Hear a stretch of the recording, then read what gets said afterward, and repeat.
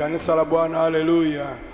Unaweza kaongeza makofi na shangwe na vigelegele kwa Bwana kwa ajili ya asubuhi nzuri ambayo ametupa. Bwana Yesu asifiwe. Basi nitasoma kitabu cha Zaburi mia moja na kumi mstari ule wa tatu. Zaburi mia moja na kumi mstari ule wa tatu. Tutaingia kwenye maombi kwa dakika chache, alafu tutaendelea kujifunza. Zaburi mia moja na kumi mstari ule wa tatu. Zaburi mia moja na kumi mstari ule wa tatu.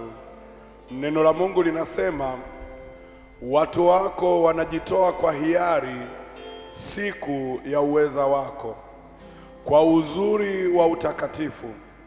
Tokea tumbo la asubuhi unao umande wa ujana wako, tokea tumbo la asubuhi unao umande wa ujana wako. Kanisa la Bwana asema amen. Natamani tuende mbele za Bwana. Asubuhi ina tumbo, anasema watu wako hujitoa kwa hiari siku ile ya utakatifu, siku ile ya uweza wako. Lakini anasema tokea tumbo la asubuhi, maanake kumbe asubuhi ina tumbo, na kama ina tumbo tunaweza tukaisema tumbo linaweza likabeba mimba. Kwa hiyo asubuhi mimba inaweza ikawa na mimba na hiyo mimba inatarajia kuzaliwa. Sasa kinazaliwa kitu gani kwenye hiyo asubuhi yako? Tumeamka asubuhi, sawa, kila mtu ana asubuhi yake yenye tumbo. Tumbo lako la asubuhi limebeba kitu gani? Tumbo lako la asubuhi limebeba neema gani? Kuna upinzani wenye kuzaa. Unaweza kaa na kitu kizuri asubuhi, manake asubuhi imebeba baraka zako. Kwa hiyo unatakiwa kuisemesha asubuhi, manake ni tumbo linatakiwa kuzaa kitu kizuri. Bwana Yesu asifiwe. Malaika anamwambia Mariamu, kitakachozaliwa kitaitwa kitakatifu, mwana wa Mungu. Kwa hiyo tunaweza tukaisemesha asubuhi yenye tumbo, tukaisemesha kitakachozaliwa siku ya leo kiwe kitakatifu mwana wa Mungu. Kila utakachokishika kiwe kitakatifu mwana wa Mungu. Faida utakayopata iwe takatifu mwana wa Mungu, na kila utakachogusa siku ya leo kiwe kitakatifu mwana wa Mungu. Na kila mwenye uhai aseme amen. Basi twende mbele za Bwana kwa dakika hizo chache. Semesha asubuhi yako, takasa siku yako, weka wakfu siku yako Iwe achilia damu ya Yesu. Mungu liye hai, tunakuja mbele zako asubuhi ya leo, sawa sawa na neno lako. Daudi anasema watu wako hujitoa kwa hiari siku ya uweza wako. Ndivyo ambavyo Bwana tumewahi asubuhi ya leo, tumejitoa siku ya uweza wako. E Bwana, tunaitakasa siku ya Jumatano, tunatakasa siku ya leo, tunatakasa jua na machweo yake, tunatakasa nyota na mwezi, tunatakasa majira ya asubuhi, tunatakasa majira ya mchana, tunatakasa majira ya jioni, tunatakasa majira ya usiku, tunatakasa masaa yake. Kuanzia saa hii. E Bwana, tunaweka wakfu masaa yote kwa damu ya mwana kondoo na kwa jina la Yesu. Jitukuze Bwana siku ya leo, tunakualika Roho Mtakatifu atamia mimba za asubuhi, atamia tumbo la asubuhi, atamia siku ya leo, atamia na uweza wako kwa jina la Yesu na kwa damu ya Yesu, tunapeleka damu ya Yesu maofisini, tunapeleka damu ya Yesu kwenye biashara, tunapeleka damu ya Yesu kwenye malango ya biashara, tunapeleka damu ya Yesu kwenye malango ya ofisi zetu, kwa damu ya mwana kondoo na kwa jina la Yesu. Na ikiwa kuna pando lolote ambalo adui amelipanda kwenye ofisi, kwenye biashara, barabarani, kila mahali, tunang'oa hayo mapando, tunang'oa hayo mapando, tunang'oa hayo mapando, tunang'oa hayo mapando, tunang'oa kwa damu ya Yesu, tunang'oa kwa damu ya Yesu, tunang'oa kwa damu ya Yesu, tunayang'oa kwa damu ya Yesu, tunamwaga damu ya Yesu kila eneo, tunamwaga damu ya Yesu kila eneo, tunamwaga damu ya Yesu inayonena mema nguvu za giza, nguvu za giza, achia, achia, achia, achia, achia, achia, achia, achia kwa damu ya mwanakondoo na kwa jina la Yesu. Jitukuze Bwana, jitukuze Yesu, jidhihirishe Bwana, jitukuze na uweza wako kwa damu ya mwanakondoo na kwa jina la Yesu. Tunaachilia damu Yesu kwenye mipaka, tunaachilia damu Yesu kwenye maeneo, tunaachilia damu Yesu kwenye ofisi, tunaachilia damu Yesu kila eneo. Roho Mtakatifu atamia mimba za asubuhi, atamia mimba za siku ya leo, ili zizaliwe zilizo takatifu, zilizo takatifu, zilizo takatifu. Kwa damu ya Yesu, kwa jina la Yesu harabakoria basikandarabokoria rikandakakaria basiki. Damu yako Yesu inene mema, damu yako Yesu inene mema, damu yako Yesu inene mema, damu yako Yesu inene mema. tunaidhabiu e Bwana. Madhabahu yako asubuhi ya leo, kila aliyeingia kwenye ibada, kila atakayeingia kwenye nyumba yako siku ya leo akaondoke na majibu yako. Tunakataa uzito ulio kwenye masikio, ulio kwenye macho, ulio kwenye mioyo, ulio kwenye nafsi, uachie kwa damu ya Yesu na kwa jina la Yesu. Jitukuze Bwana asubuhi ya leo, jitukuze Bwana asubuhi ya leo na uweza wa jina lako. Onekana Bwana kwa huyu mama, onekana kwa huyu baba, onekana kwa huyu msichana, onekana kwa huyu kijana wa kiume. Yesu kampe majibu ya maswali yake kwa damu ya Yesu na kwa jina la Yesu. Jitukuze siku ya leo Bwana, jitukuze mfalme wa falme, katika jina la Yesu Kristo tumeomba, nasi tunaamini Bwana utaanza nasi na kumaliza pamoja nasi, maana wewe ni Alfa tena ni Omega, na kila mwenye pumzi amshangilie Bwana kwa shukurani, amshangilie Bwana kwa shukurani, amshangilie Bwana kwa shukurani. Unaweza ongeza na vigelegele, akina mama, vya ibada ya shukurani ongeza tu makofi ya shukrani, kelele za shangwe mbele za Bwana. Haleluya, haleluya! Kanisa la Bwana, haleluya! Kanisa la Bwana, haleluya! Washindi, haleluya! Ongeza tena shangwe. kori basanda Mungu. Karibu praise team, tumtukuze Bwana. Hakikisha unamshangilia Mungu na msifu kwa moyo wako wote. Katikati ya sifa, Mungu anashuka na tuhudumia pia. Kuhakikisha unausemesha mwili wako, ujiachilie mbele za Bwana.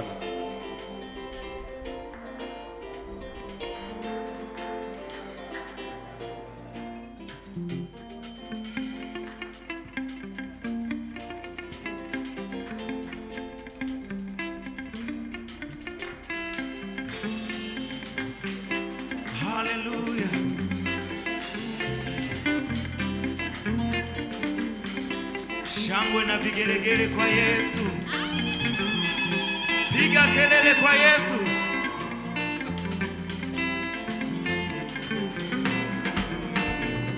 Mesia eh, Mesia eh, Mesia eh, Mesia Baba usifiwe.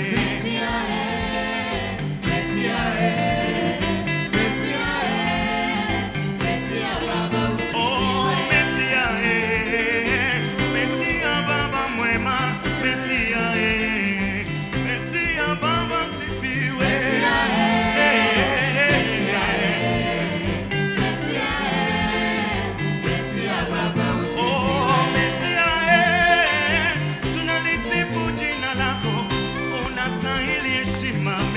ella.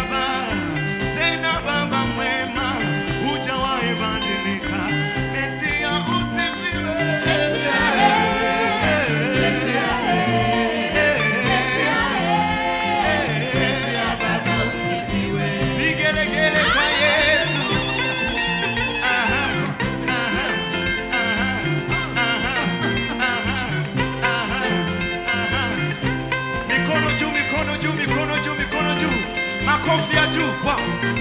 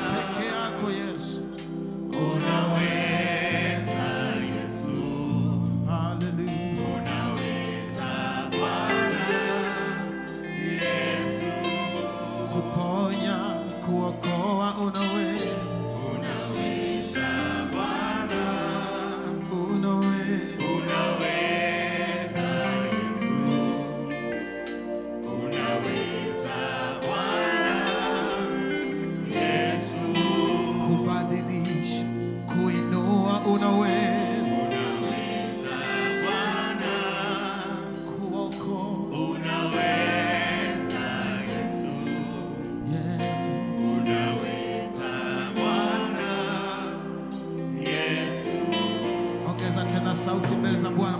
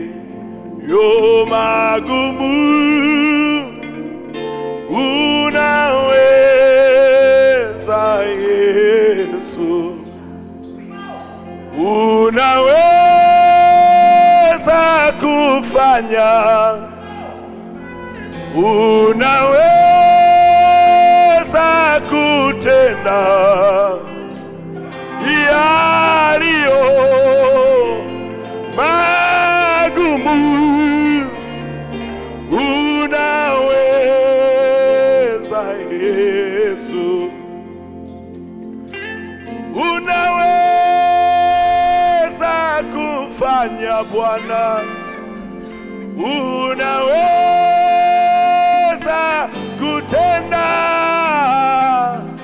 yaliyo magumu magumu magumu, unaweza Yesu, unaweza una Mwambie kwa sauti ya imani,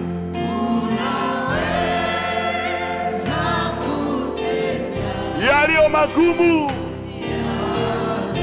yaliyo magumu, unaweza. Unaweza ongeza sauti yako tena kwa imani, unaweza kufanya. Mwambie kwa sauti Bwana, unaweza kutenda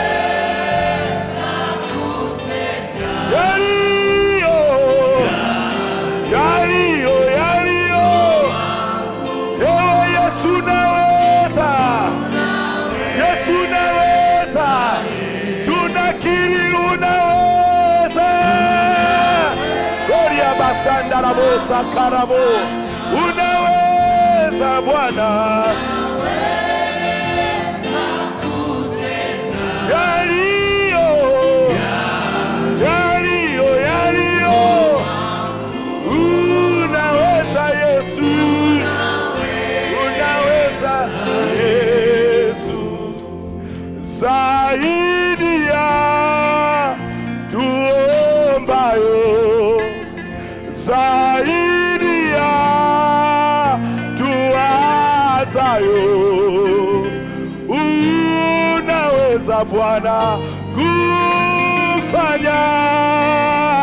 Unaweza, unaweza Yesu, zaidi ya tuombaye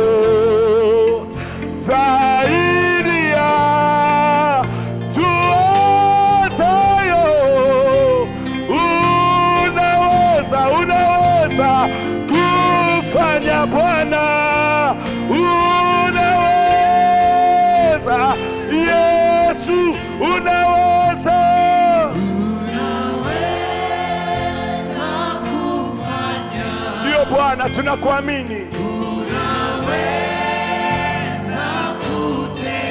Yaliyo. Yaliyo. Magumu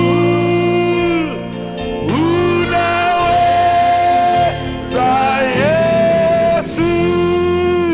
Mwadhimishe Bwana kwa makofi, mwadhimishe kwa kinywa chako, mwambie tu Yesu unaweza, mwambie tu Yesu unaweza, mwambie tu Yesu unaweza, mwambie tu Yesu unaweza, mwambie tu Yesu unaweza. Tunakiri Yesu unaweza, tunakuamini Yesu unaweza. Yaliyoshindikana kwa madaktari, yaliyoshindikana kwa wanadamu, Yesu unaweza, Yesu unaweza, Yesu unaweza, Yesu unaweza, Yesu unaweza, Yesu, Yesu, Yesu, Yesu, Yesu, kariaba kariabakoriandarabasaka. Tunakuamini Bwana, tunakuamini Bwana, haujawahi kushindwa, haujawahi kushindwa, haujawahi kushindwa, haujawahi kushindwa. Hata magonjwa yaliyoshindikana unaweza kuponya, unaweza kuponya kansa, unaweza kuponya kisukari, unaweza kuponya, unaweza unaweza kuondoa na uvimbe, unaweza koria makandarabosiki. Ndiyo Bwana, ni nani wa kulinganishwa na wewe? Ni nani wa kufananishwa na wewe? karabosakandarabo ongeza makofi mazuri wakati unakaa kwenye uwepo wa Bwana. Ndiyo Bwana alingia rohoni mwangu, kanipa kutulia, kaniambia ewe mwanangu, usilie tena. Aliingia rohoni mwangu, kanipa kutulia, kaniambia ewe mwanangu, usilie tena. Aliingia rohoni mwangu, kanipa kutulia, kaniambia ewe mwanangu, usilie tena. Ninajua shida zako, mimi nitazitatua. Bila Yesu mimi ni mtu bure. Bila Yesu mimi ni aliingia, alingia rohoni mwangu, kanipa kutulia, kaniambia ewe mwana usilie. Aliingia, ndio Bwana. Kaniambia. Mm, ninajua. Yesu anajua shida zako Bwana. Bila Yesu, nakiri bila Yesu, bila Yesu, mwambie tena, aliingia rohoni mwangu, kanipa kaniambia, ewe mwanangu, usili aliingia rohoni mwangu, kanipa kaniambia,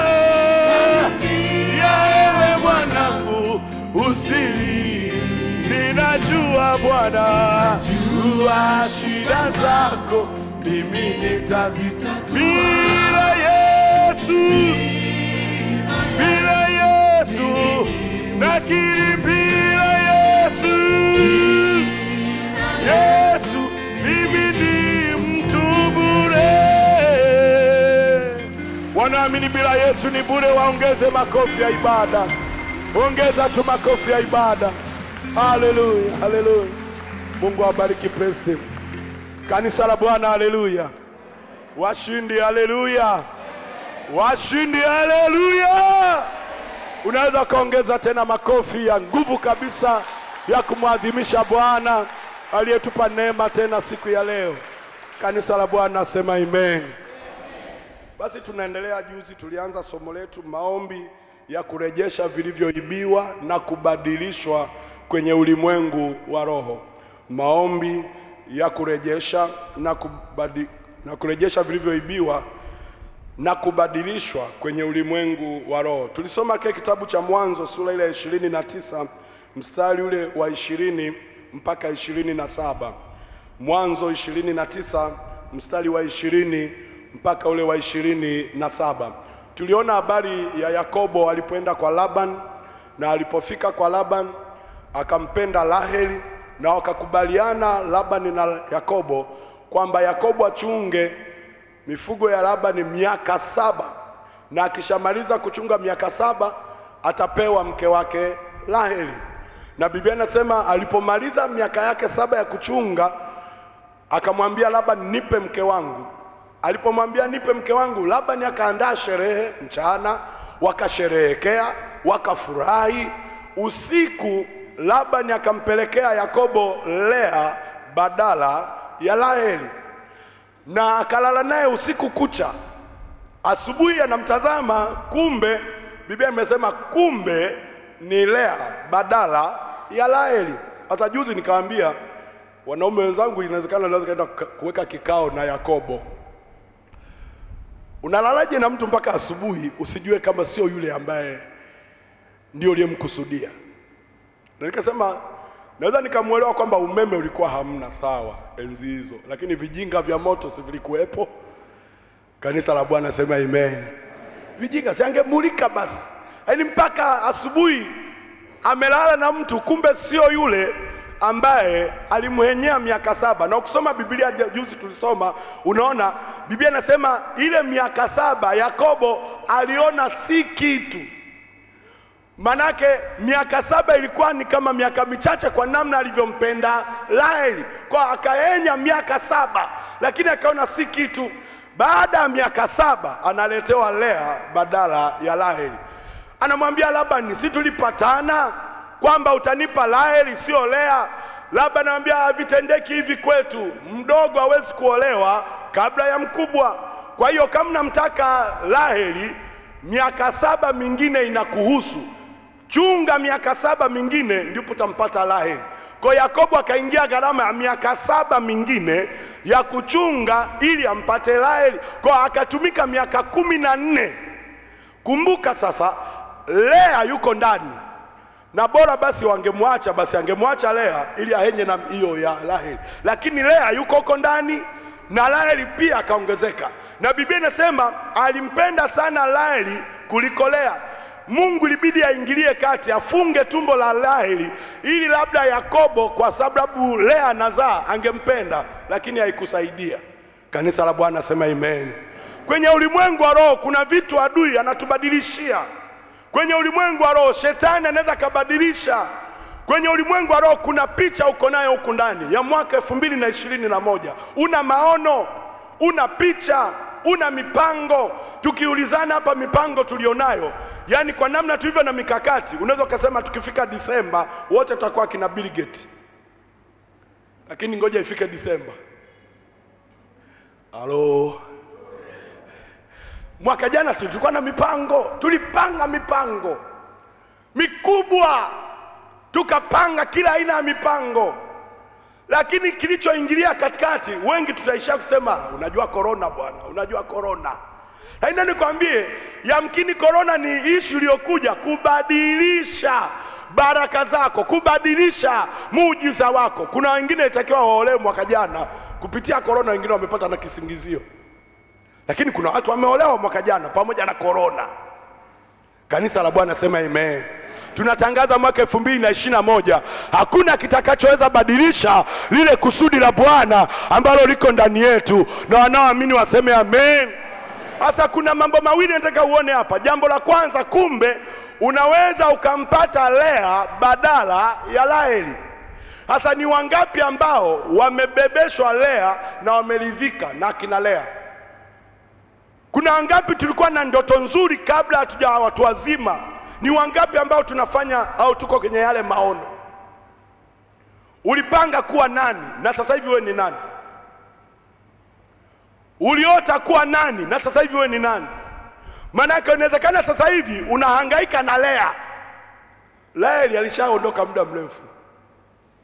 Halo, nakumbuka nikiwa darasa la saba nilikuwa naota ndoto, nasimama mbele ya watu wengi, naimba, na wakati naimba naona na mapepo yanalipuka kwenye uwanja mkubwa, watu wamejaa, nikiimba nguvu za Mungu zinashuka, nikiwa darasa la saba.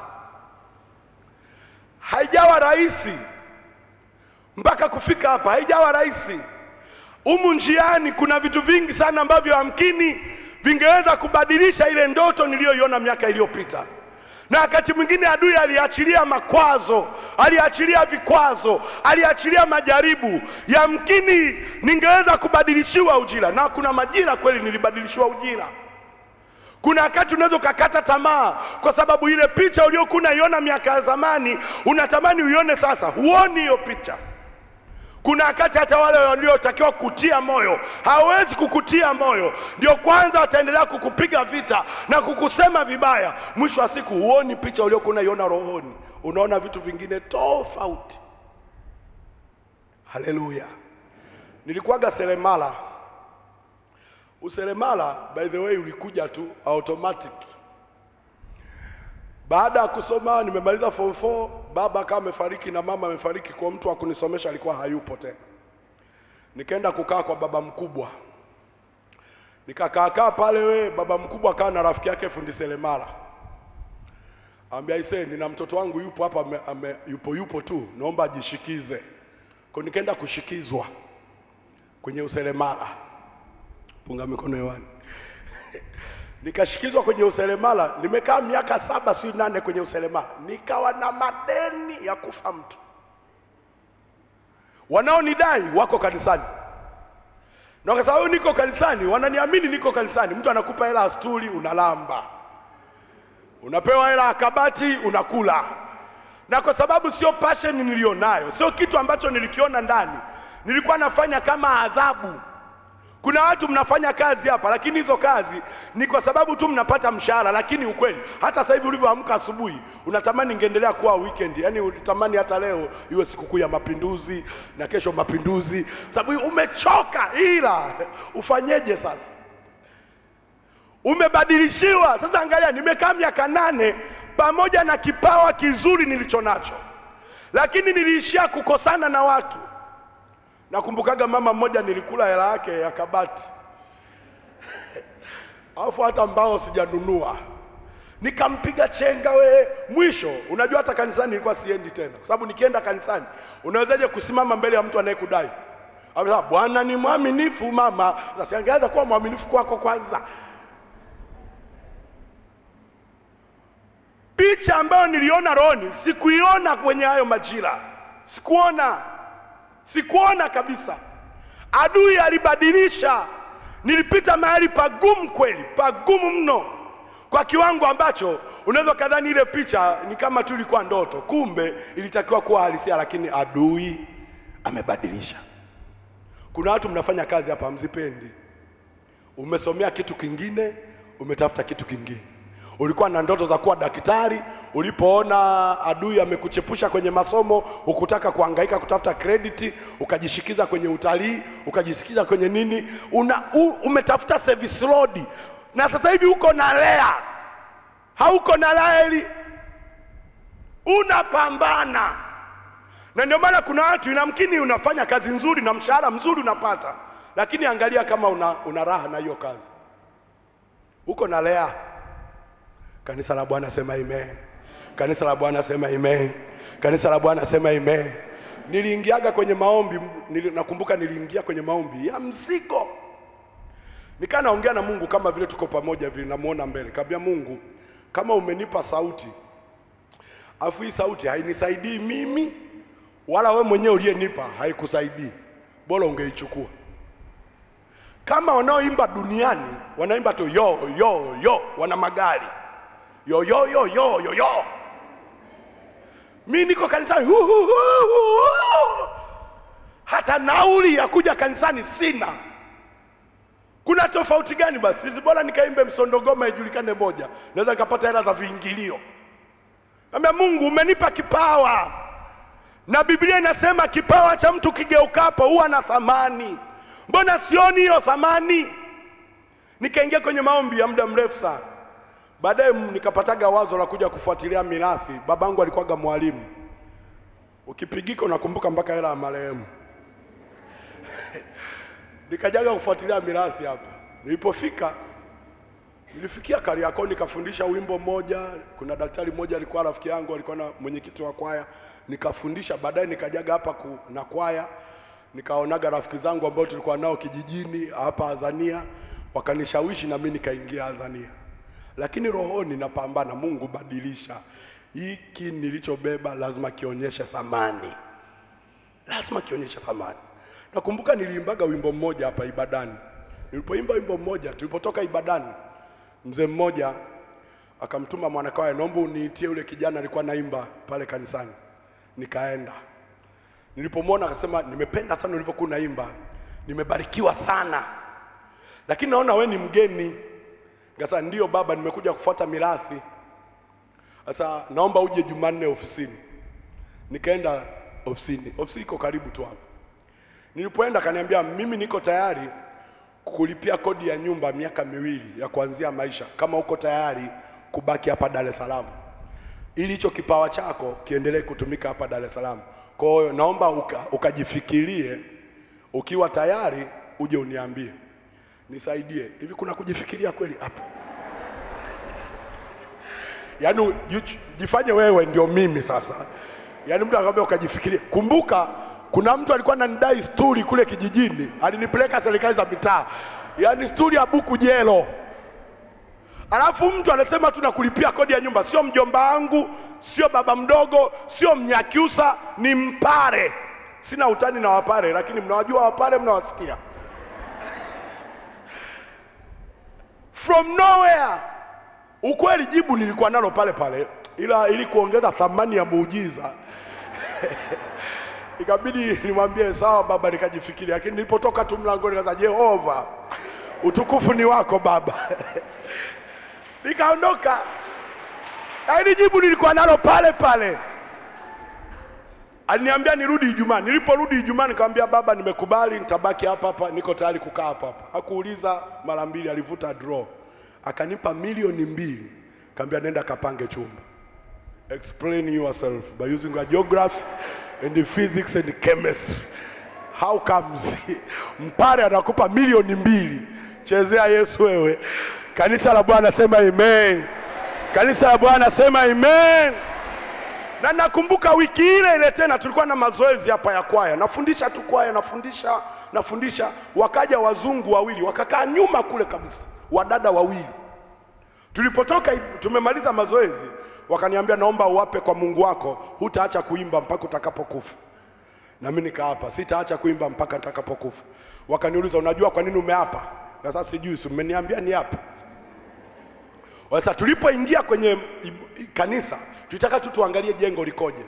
Tuliposikia unaimba, sauti yako ilikuja mpaka moyoni. Tulipotaka kutoka, tukanogewa, tukaona tu tunakaa dakika tano, dakika kumi, tukamaliza mpaka mazoezi mnakaa. Hatukutaka kukaa muda huo.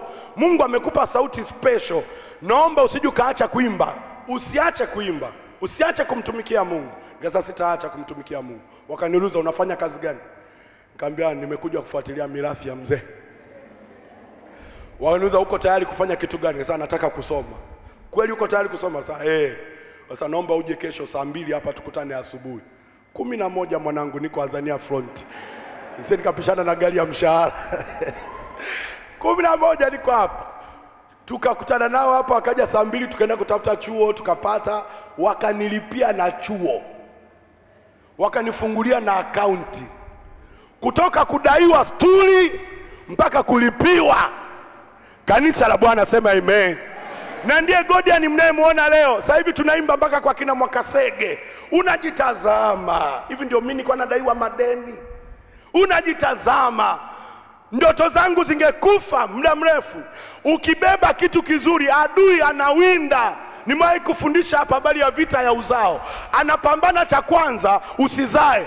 Akishindwa ukakizaa, anapambana na vile ulivyovizaa, anaviharibu, vinaharibika.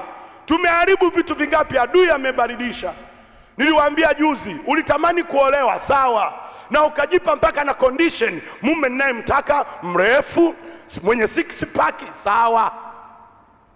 Nikiolewa nitavaa shera, nikiolewa nitaringa, nitaenda madhabauni, na watu wanachaguaga Azania Front, kanisa zuri la kufungia ndoa, sawa. Na babangu mzinga wala ana shida, anakutangazia tu alichokiunganisha Mungu mwanadamu asikitenganishe.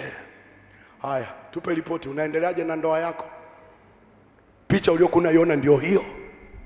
Kanisa la Bwana sema ime sema Bwana Yesu, kila nilichobadilishiwa kwenye ulimwengu wa roho, ninaomba nirejeshewe katika jina la Yesu, na kila mwenye pumzi aseme amen. Fungua kitabu cha Wafalme, Wafalme, tuone mfano mwingine mmoja hapa. Nilisema alafu kesho tutaendelea.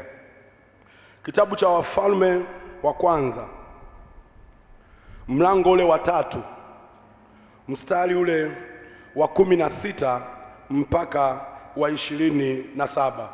Wafalme wa kwanza mlango wa tatu mstari ule wa kumi na sita mpaka ishirini na saba. Neno la Mungu linasema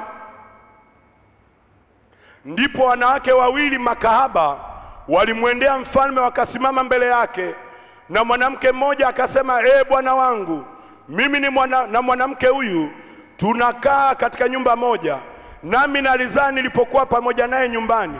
Kisha siku ya tatu baada ya kuzaa kwangu, ikawa mwanamke huyu naye akazaa, na sisi tulikuwa pamoja, hapakuwa na mtu mwingine pamoja nasi nyumbani isipokuwa sisi wawili tu, na mtoto wake mwanamke huyu akafa usiku, maana alimlalia. Tuseme kwa pamoja, alimlalia. Sema tena, alimlalia. Akaondoka kati ya usiku, akamwondoa mtoto wangu ubavuni pangu, mimi mjakazi wako nilipokuwa usingizini. Akaweka, akamweka kifuani pake, na mtoto wake mwenyewe aliyekuwa amekufa akamweka kifuani pangu. Nilipoondoka asubuhi nimnyonyeshe mtoto wangu, kumbe amekufa. Hata asubuhi nilipomtazama sana, kumbe siye mtoto wangu niliyemzaa. Ndipo yule mwanamke wa pili akasema, sivyo hivyo, bali mtoto wangu ndiye aliye hai na mtoto wako ndiye aliyekufa. Na mwenzake akasema, sivyo hivyo, bali mtoto wako ndiye aliyekufa na mtoto wangu ndiye aliye hai. Ndivyo alivyosema mbele ya mfalme. Ndipo mfalme akasema, huyu anasema mtoto wangu yu hai na mtoto wako amekufa, na huyu anasema sivyo hivyo, bali mtoto aliyekufa ni wako na mtoto aliye hai ni wangu. Mfalme akasema, nikileteni upanga. Wakaleta upanga mbele ya mfalme. Mfalme akasema, mkate mtoto aliye hai vipande viwili, kampe huyu nusu na huyu nusu. Ndipo mwanamke yule ambaye mtoto aliye hai ni wake akamwambia mfalme, kwa maana moyoni mwake alimwonea mtoto wake huruma, akasema, ee bwana wangu, mpe huyu mtoto aliye hai, wala usimuue kamwe. Lakini yule mwanamke mwingine akasema, asiwe wangu wala asiwe wako, na akatwe. Ndipo mfalme akajibu akasema, mpe huyu wa kwanza mtoto aliye hai, maana yeye ndiye mama yake. Na kila mwenye pumzi aseme amen. Sema, mpe huyu aliye hai mtoto wake. Kanisa la Bwana sema amen. Hawa ni wanawake wawili wamelala pamoja, wako karibu nyumba moja. Biblia inasema huyu mwingine akamlalia mtoto wake akafa. Alipoona mtoto wake amekufa, akamchukua mtoto aliyekufa akamweka kifuani kwa mama mwenye mtoto aliye hai, na mtoto aliye hai akamchukua akalala naye, kama vile Yakobo ilivyokuwa amelala yule mama usiku kucha. Mpaka asubuhi anaamka, ndipo anamtazama ili amnyonyeshe, anaona kumbe sio mtoto wake. Biblia inasema alipomtazama sana akagundua sio mtoto wake ikabidi wapeleke kesi kwa mfalme Suleimani. Walipofika kwa mfalme Suleimani, kila mama anasema huyu ni mtoto wangu, huyu ni mtoto wangu, huyu ni mtoto wangu, huyu ni mtoto wangu. Mfalme akasema isiwe shida, leta panga, tutamkata vipande viwili, alafu apewe huyu nusu na mwingine nusu, na mtoto akishakatwa, manake tayari ni maiti nyingine. Uchungu wa mwana aujuae mzazi. Mwenye mtoto akasema, mfalme, usimkate, mpe tu huyo mama mtoto wake Asi, usimuue. Ni bora nimkose kwenye mikono yangu, lakini abaki hai, hata kama kwenye mikono ya mtu mwingine. Huyu ambaye mtoto wake amekufa, sasa eh, mfalme, bora bwana, tukose wote, kata kata, tukose wote. Mfalme akaangalia, sasa hii pumbavu kabisa, akili hamna, nungaembe wewe. Haya, huyu sio mtoto wako, mpe mtoto huyu aliyo wa kwanza. Nachotaka ukione pale kwenye ulimwengu wa roho, anasema alipomtazama sana akagundua sio mtoto wake. Ukivitazama sana vitu vyako unavionaje? Ukiitazama sana ndoa yako kwenye ulimwengu wa roho unaionaje? Ukimtazama sana mume wako unamwonaje? Ukiwatazama sana watoto wako unawaonaje? Ndio wale ambao ulikusudia, ndio wale Mungu alikupa ili wawe neema, wawe zawadi. Yamkini wakati mwingine ukiwatazama watoto wako unapata na hasira, unatamka mpaka maneno magumu. Wakati mwingine unajua, ningejua nisingezaa, ningejua ningetoa mimba ya huyu, ningejua nisingeolewa, ningejua nisingeoa huyu mwanamke, ningejua nisingeolewa na huyu baba. Amebadilika kwa kiwango ambacho ukimtazama unaona sio chenyewe. Usiku kucha nabaki unalia. Kuna mama utafikiri umeolewa na kitunguu Leo kila wakati ni machozi tu, machozi tu, lakini hakuwa hivyo, hakuwa hivyo. Na watu wengi wanaishaga saa, bwana sinibabaishe, wanaume wako wengi, bora tu tuachane, wanaume wako wengi. Na nikwambie, wanaume tuko wachache, hatuko wengi, na wakwako dunia nzima ni huyo huyo uliye naye. Pambana na hali yako, usitingishe ndoa za wengine. Punga mkono. Biblia inasema nitakufanyia wakufanana na sio wakufanana nao, naye maanake ni huyu mmoja.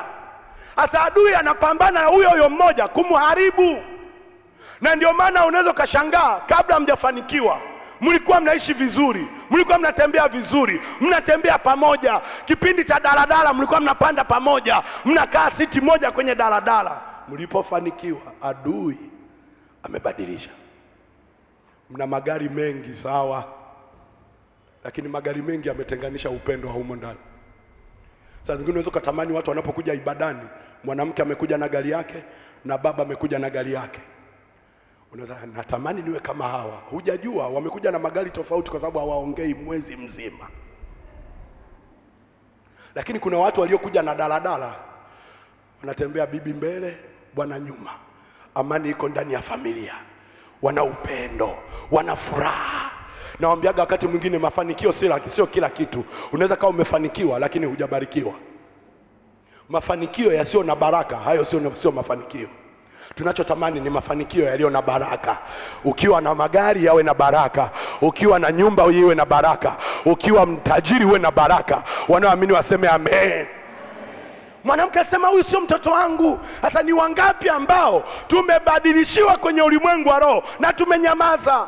Kwenye kitabu cha Mathayo kumi na tatu ishirini na tano mpaka thelathini ukisoma, Mungu akitupa neema tutaona kesho, anasema alipanda ngano nzuri, lakini alipolala adui akaja akapanda magugu, na alipopanda magugu, wanashangaa magugu na ngano viko kwenye shamba wanamuuliza Bwana, tufanyeje sasa? Mbona tulipanda ngano, sasa kuna magugu? Asema walipolala adui amekuja amepanda magugu. Sasa kwa hiyo tufanyeje sasa? Acha magugu na ngano vikue pamoja. Nawambiaga watu usisome Biblia upande mmoja, inaweza ikakumaliza.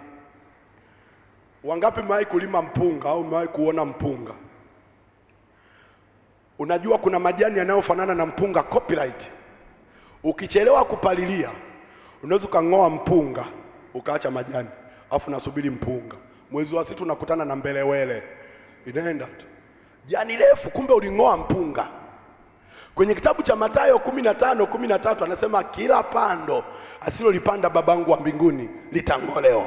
Uamuzi ni wa kwako, kubaki na magugu na ngano au kung'oa magugu ukabaki na ngano. Wanaelewa Aseme amen. Naambiaga watu unaweza ukabaki na mstari anasema ukipigwa ngumi shavu la kulia mgeuzie na la kushoto. Na nawaambiaga watu inategemeana na uzito wa ngumi. Kuna ngumi nyingine unafia hapo hapo, hata muda wa kugeuka hautaupata. Vita zingine kimbia. Sijakosea ninachosema. Yesu mwenyewe alikuwa mwana wa Mungu. Alipozaliwa Herode alikataka kumuua.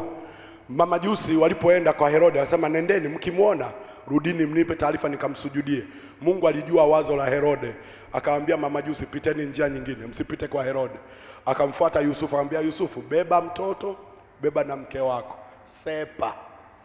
Herode anataka kuua mtoto, kimbia. Sembuse mdengereko, wewe mnyakiusa mwenzangu Mchaga. Yesu mwenyewe alikimbia ili kuokoa maono. Kuna muda wa kulea maono, kuna muda wa kupigana vita. Usichanganye madawa na kuombea wiki hii. Mungu abadilishe vile vilivyobadilishwa na shetani, akurejeshee furaha na ushindi katika jina la Yesu. Wanaoamini waseme amen. Kesho utapata nafasi ya kuomba. Simama kwa miguu yako.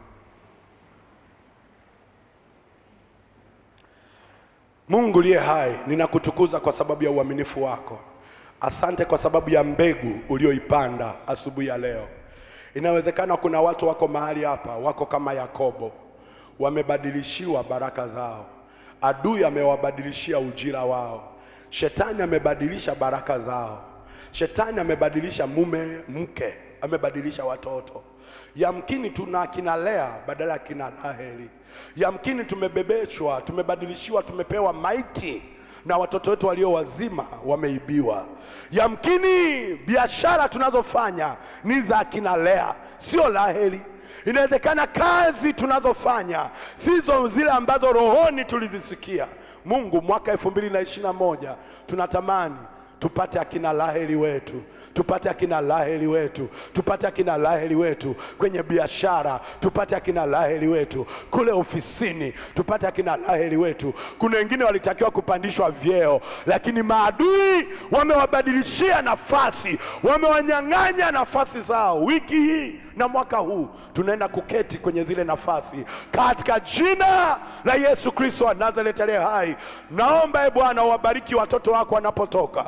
Mungu kawabariki mashariki, magharibi, kaskazini na kusini. Neema yako ikawazukie wakafanikiwe katika mambo yote kama vile roho zao zilivyofanikiwa asubuhi ya leo, na kila mwenye pumzi aseme amen. Kila mwenye wai aseme amen. Naweza kampigia Yesu makofi mazuri wakati baba anakuja mchungaji. Lakini pia kuna CD mpya ya nyimbo za tenzi, kama utahitaji, nimerekodi ziko mpya, unaweza ukapata hapo nje. Mungu awabariki. Naomba ushike sadaka yako, tumshukuru Mungu. Baba, katika jina la Yesu Kristo wa Nazareti aliye hai, wewe ni Mungu unayesema, ni Mungu unayefundisha, ni Mungu unayebariki, ni Mungu unayetutaka tufanye kitu kwa ajili ya utukufu wako. Leo tena Bwana umetupa katika kusudi lile ambalo umetupa Mfalme, tunaomba neema yako iende pamoja nasi uibariki sadaka hii ambayo watoto wako watakutolea muda mchache ujao. Asante kwa ajili ya mapito yao, asante kwa ajili ya kazi, biashara na masomo na familia zao. Asante kwa ajili ya taifa la Tanzania. Tunakushukuru kwa maana wewe ni mwaminifu. Tena tunahitaja na Uganda wakati huu Bwana inapojiandaa kwa ajili ya uchaguzi mkuu. Baba mfalme wa wafalme, tunaomba neema yako iwe juu ya ndugu zetu katika jina la Yesu Kristo wa Nazareti aliye hai. Uende pamoja nasi Bwana, katika jina lako Mungu Baba na Mwana na Roho Mtakatifu, amen. Pokeeni baraka za Mungu ninyi nyote mnaomtegemea. Bwana akubarikie na kukulinda. Bwana akuangazie nuru za uso wake na kukufadhili. Bwana akuinulie uso wake na kukupa amani. Kwa jina la Baba na la Mwana na la Roho Mtakatifu, amen. Twenende kwa amani ya Bwana, tumtumikie Mungu kwa furaha, na karibuni kwa ajili ya kutoa sadaka.